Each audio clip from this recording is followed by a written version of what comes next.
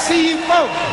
I wrote this song a long time ago uh, when, when the world or America or somebody was running out of gas, and I got stuck in a little town in California.